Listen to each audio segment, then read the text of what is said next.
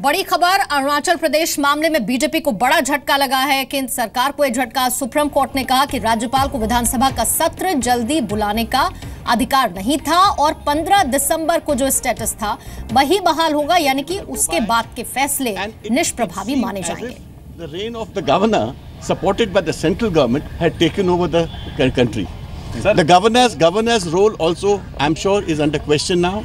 The way he has acted at the behest of the ruling party, and we expect the ruling party not only to respect the Supreme Court judgment, restore the Congress government forthwith, but also to take appropriate action against the governor. ठीक है sir Hindi में जो है आप बता दें क्या हुआ आज सुप्रीम कोर्ट की संवैधानिक पीठ का फैसला आ, आज सुप्रीम कोर्ट के संवैधानिक पीठ ने एक बहुत ही महत्वपूर्ण फैसला दिया है जिससे सुप्रीम कोर्ट ने महामहिम गवर्नर साहब ने जो मैसेज और जो डायरेक्शंस 9th दिसंबर को इशू किए थे for convening the assembly by preponing the assembly और उसमें जो नो कॉन्फिडेंस मोशन स्पीकर के अगेंस्ट और गवर्नमेंट के अगेंस्ट पास हुआ था 16 और 17 दिसंबर को, वो सब क्वाश कर दिया गया है as violative of Indian constitutional provisions Supreme Court ने ये भी डायरेक्शन दिया है कि द स्टेटस को, जो स्थिति 15 दिसंबर की थी उसको रिस्टोर किया जाए।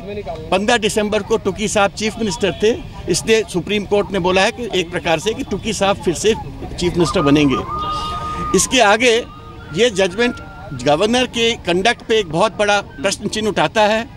क्या इंडियन क्या गवर्नर इस प्रकार से कार्रवाई कर सकते हैं जिसमें कॉन्स्टिट्यूशन प्रोविजंस का बिल्कुल अनदेखी हो रूल ऑफ़ लॉ की अनदेखी हो और ऐसा लगने लगे देश में जैसे कि कोई कानून व्यवस्था ही नहीं है।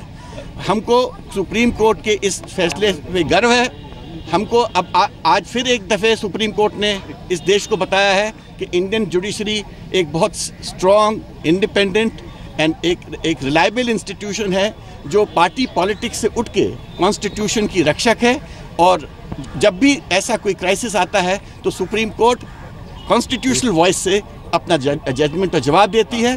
और अ, ज़रूर थोड़ा सा विलंब हुआ जिसके लिए आज कोर्ट ने सॉरी भी बोला। हाँ। और उसके बाद एक ऐसा ऐतिहासिक फैसला दिया जो इस इस देश के कॉन्स्टिट्यूशनल हिस्ट्री के लिए एक बहुत ही महत्वपूर्ण कड़ी होगा। उत्तराखंड के बाद ये अ, वो बात की बात है। पहले उनको उनको रिस्टोर करना पड़ेगा then the constitutional constitutional process है वो फॉलो होगा। थैंक यू हाँ।